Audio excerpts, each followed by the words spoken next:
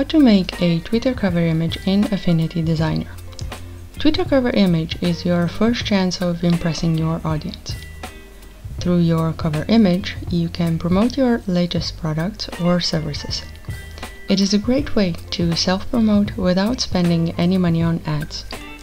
There are several options where you can create cover images, some are free and some are paid ones.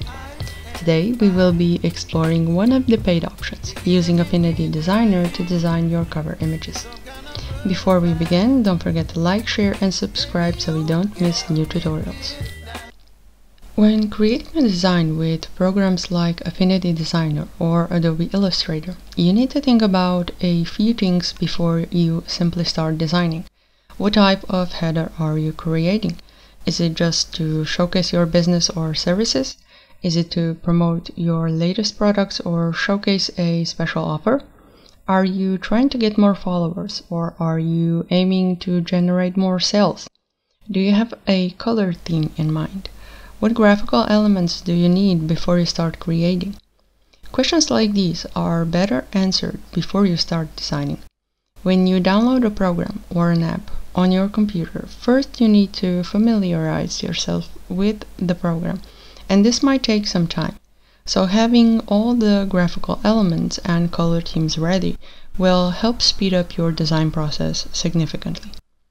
There are various websites that offer free graphical elements for you to download and use unless you are brave enough to create your own. Uh, you can check out Pixabay, Vecteezy, Creative Fabrica, Pexels, Flat Icon, and so on.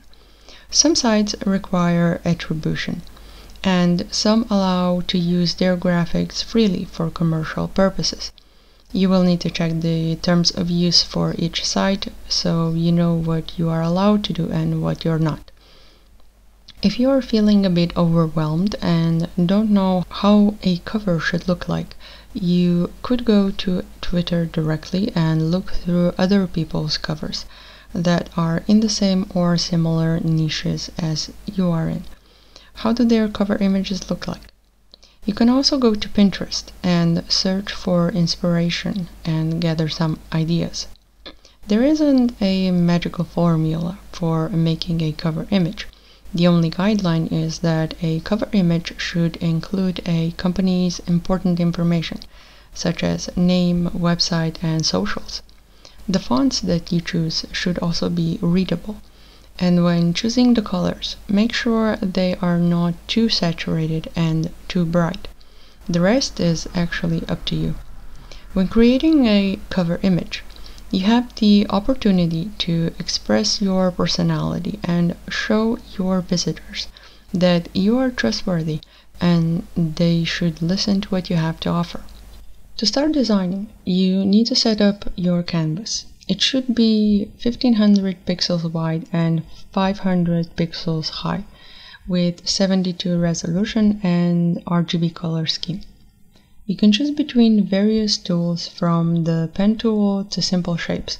Affinity Designer offers pre-made simple graphical shapes from squares to clouds to stars and whatnot with which you can play with and create new shapes.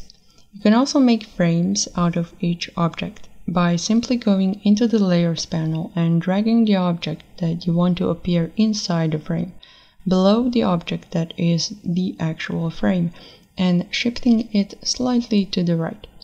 This action will nest your image inside that frame. You can also draw shapes with the pencil tool and make simple vector shapes that can be edited at any time.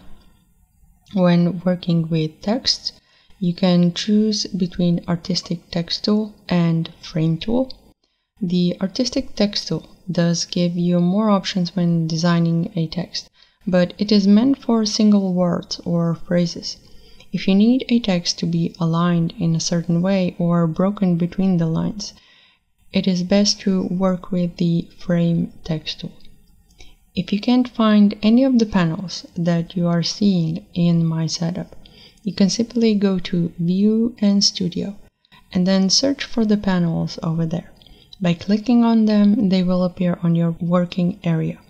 You can also nest the panels wherever you wish on the board. The most important part of it all is the exporting process. There are various options you can choose from when exporting a design. By going to File, Export, a pop-up menu will appear. In there, you choose what type of format you would like to save your design as. You have the options of PNG, JPEG, GIF, TIFF, PSD, PDF, SVG, YMF, EPS, EXR, HDR, TGA. To be completely honest, I only use PNG, JPEG, and PDF, and sometimes SVG. The next thing you also need to choose is the area of work. If you have multiple artboards on your working area, you need to select the one that you want to export and then simply click export. When it comes to exporting Twitter cover images, I usually export as JPEG, but sometimes when I have more elaborate graphical elements on the cover, I use the PNG file format.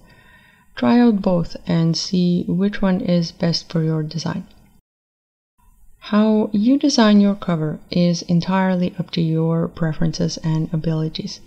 Before we say goodbye, Check the description box. There is an Affinity Designer file waiting for you with six Twitter cover templates. I hope they can be of some use to you. I hope this video was of some help to you. If you have any questions, let me know in the comments and I will gladly reply. Before you click off, don't forget to like, share, and subscribe so you don't miss any of my future tutorials. And on that note, I will see you next time.